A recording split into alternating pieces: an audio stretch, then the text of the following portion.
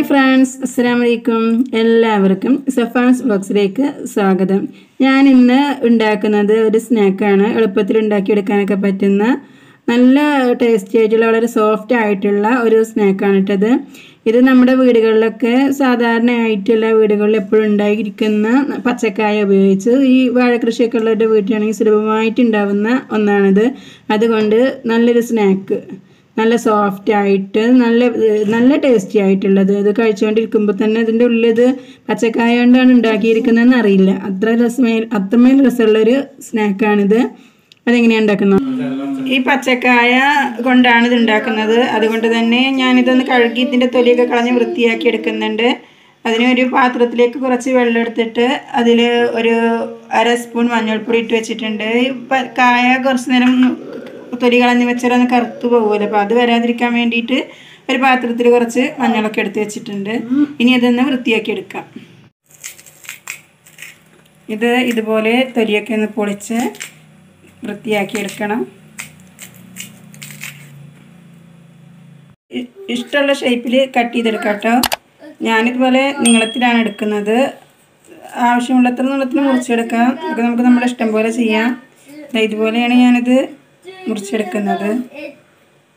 പരമാവധി കനം കുറക്കുന്നതാണ് നല്ലത്. മസാല പിടിക്കാൻ വേണ്ടിയിട്ട് ഇതിങ്ങനെ ചെയ്യുന്നതാണ് നല്ലത്. കനം കുറച്ചിട്ടാണ് അത് നല്ലത്. അവനാണ് ഇഷ്ടമുള്ള പോലെ ചെയ്തെടുക്കാം ഇതുപോലെയാണ് ഇത് കട്ട് ചെയ്തെടുത്തിട്ടുള്ളത്. കണ്ടില്ലേ? ഇതുപോലെ എടുത്ത് കട്ട് ചെയ്ത് വെച്ചിട്ടുണ്ട്.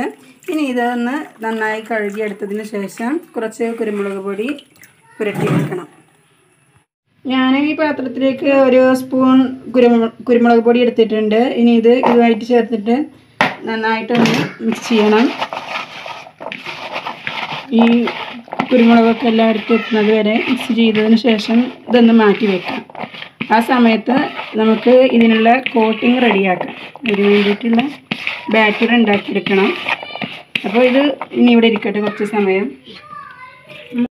ബാറ്റർ റെഡിയാക്കാൻ വേണ്ടിയിട്ട് ഞാൻ അതിന് ഒരു മുക്കാൽ കപ്പ് കടലമാവും ഒരു അരക്കപ്പ് മൈദപ്പൊടിയും അതിലേക്ക് കുറച്ച് ബ്രെഡ് കംസും ഒക്കെ ചേർത്തിട്ട് നന്നായിട്ടൊന്ന് ഇളക്കിയെടുക്കുന്നുണ്ട്.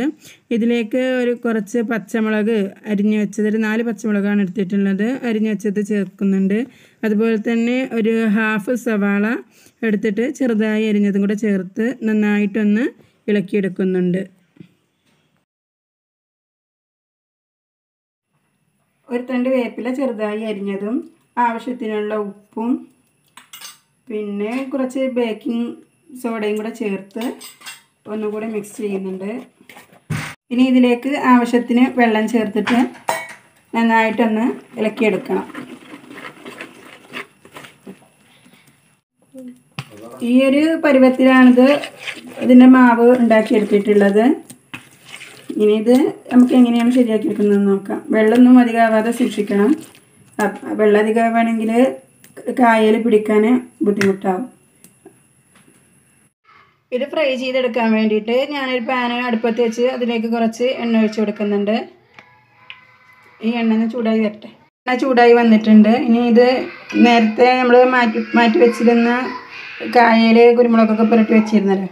അതെടുത്തിട്ട് ഇതുപോലെ ഈ ഡോവിലൊക്കെ മുക്കിയിട്ട് അത് നന്നായി എല്ലായിടത്തും പുരട്ടി വെച്ചതിന് ശേഷം നേരെ എണ്ണച്ചട്ടിയിലോട്ട്. അതുപോലെ ഇപ്പോൾ ഞാൻ ഈ ഒരു പാനിന് പാകത്തിന് കുറച്ച് ഉണ്ടാക്കി വെച്ചിട്ടുണ്ട്. ഇനി കുറച്ച് കൂടെ അത് ഉണ്ടാക്കിയെടുക്കാനായിട്ടുണ്ട്. ഭയങ്കര സോഫ്റ്റ് ആണ് കേട്ടോ. ബ്രെഡ് ഗംസ് ഒക്കെ ഇതിൽ നന്നായി ലയിച്ചു ചേർന്നത് കൊണ്ട് വളരെ സോഫ്റ്റ് ആണ് ഇതിന്റെ കോട്ടിങ് നല്ല ടേസ്റ്റി ആയിരിക്കും. ഈ വശം നന്നായി മുരിഞ്ഞ് വന്നിട്ടുണ്ട്. നമുക്ക് ഒന്ന് മറിച്ചിട്ട് എടുത്തിട്ട് മറുവശം കൂടെ ഒന്ന് മുരിച്ചെടുക്കാം. സ്നാക്ക് ഇവിടെ റെഡി ആയിട്ടുണ്ട്. ഇത് ഒരു രണ്ട് മൂന്ന് തവണയായിട്ടാണ് ഞാൻ ഫ്രൈ ചെയ്തെടുത്തിട്ടുള്ളത്. വളരെ സിമ്പിളായിട്ട് ചെയ്യാൻ പറ്റുന്ന നല്ല ടേസ്റ്റി ആയിട്ടുള്ള വളരെ സോഫ്റ്റ് ആയിട്ടുള്ള ഒരു സ്നാക്കാണിത് ഇത് നിങ്ങളെല്ലാവരും ഒന്ന് ട്രൈ ചെയ്ത് നോക്കണം. എന്നിട്ട് അതിന്റെ ഫീഡ്ബാക്ക് അറിയിക്കണം. വളരെ പെട്ടെന്ന് തന്നെ നമുക്ക് ഉണ്ടാക്കിയെടുക്കാൻ പറ്റുന്ന ഒന്നാണ്. എല്ലാവർക്കും ഈ വീഡിയോ ഇഷ്ടമായാൽ ലൈക്ക് ചെയ്യുക ഷെയർ ചെയ്യുക. ഈ ചാനൽ സബ്സ്ക്രൈബ് ചെയ്യുണ്ടു. അതുപോലെ തന്നെ ബെല്ലൈക്കൻ കൂടെ ഒന്ന് പ്രസ് ചെയ്യുണ്ടു. എന്നാലേ ഞങ്ങളുടെ എല്ലാ വീഡിയോയുടെയും നോട്ടിഫിക്കേഷൻ നിങ്ങൾക്ക് ലഭിക്കുകയുള്ളൂ.